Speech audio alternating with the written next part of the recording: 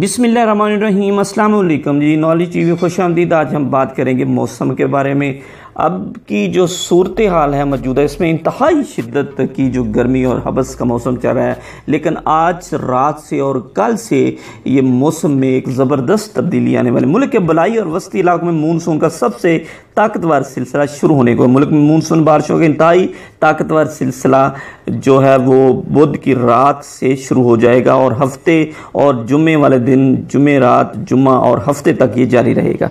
اس سلسلے کی شدت جمعرات اور جمعے کو بہت زیادہ روج پر ہوگی۔ منگل سے ہفتے کے دوران کم کشمیر، بلائی و وسطی پنجاب، کشمیر، خیبر پختونخوا میں طوفانی بارشوں کا امکان ہے۔ پنجاب کی اگر ہم بات کرتے پنجاب میں بارشوں کا نیا سلسلہ جو ہے بدھ کے روز سے داخل ہوگا اور جو ہفتے تک جاری رہے گا۔ اس دوران بلائی پنجاب میں شدید ترین طوفانی بارشوں کا امکان ہے۔ وسطی پنجاب میں بھی شدید بارشیں ہوں گی۔ بلائی پنجاب میں اگر ہم بات کرتے ہیں، اٹک، چکوار، اسلام آباد، پنڈی، مری، جیلم، گجرات، منڈی بالدن خوشاب، سرگودا، میاں والی ناروال سیالکوٹ گجرا حافظ آباد شیخ پورہ لاہور، قصور میں بیشتر مقام پر شدید آندھی اور گر چمک کے ساتھ طوفانی بارشوں کا امکان ہے۔ اسی دوران سرگودا حافظ آباد ننکانہ صاحب گجرا والا چکوار میں شدید طوفانی بارشیں اور دو سو سے تین سو ملی میٹر تک بارش ہو سکتی ہے۔ وسطی پنجاب کی بات کریں تو اکاڑا، سائیول پاک پت چنیوٹ فیصل آباد ٹوبا ٹیکسنگ جنگ میں موسلا در بارشوں کا امکان ہے۔ جنوبی پنجاب میں بکھر لیا خانے وال باول نگر، ڈیرہ غازی خان، ملتان میں بھی موسلا در بارشیں ہیں۔